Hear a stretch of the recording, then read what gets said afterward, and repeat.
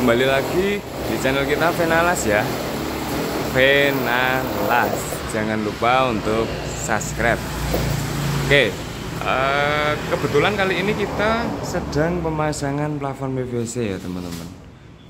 Kita menggunakan hulu 4 kali 2 full semua 4 kali 2 uh, untuk kerangka dan untuk pengait ke atasnya kita juga menggunakan uh, hulu dua kali empat.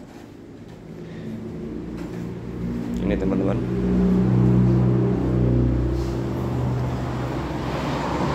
Ini kita permintaan membuat uh, plafon PVC dengan model drop selling ya teman-teman. Kita lihat lihat bersama kita menggunakan drop selling. Nanti kita menggunakan lampu. Yang sini juga drop selling menggunakan lampu LED warna biru.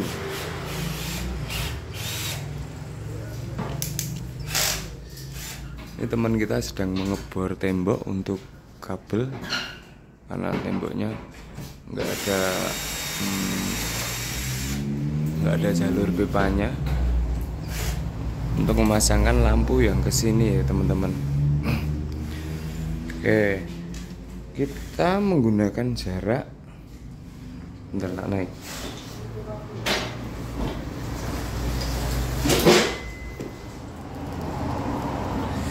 Kita menggunakan jarak 15 cm ya teman-teman. Untuk uh, naik ini.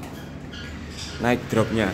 15 cm dari sini dari sini sampai sini itu 15 cm teman-teman.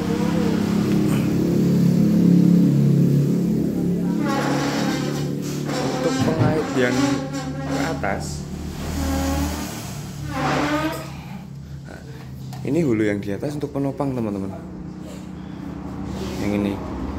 Ini kita kaitkan ke atas ke kayu dengan baut itu karena udah ada topangan kayu cuman kita dapatkan kayu. Ini jaraknya dari tembok kita menggunakan jarak 50 cm teman-teman. Tembok ke tengah atau drop untuk drop bawah yang bawah itu kita menggunakan jarak 50 cm atau setengah meter. Dan untuk uh, kedalaman dropnya atau uh, masuknya ini 10 cm teman-teman. Bisa dilihat sendiri. Ini kerangkanya.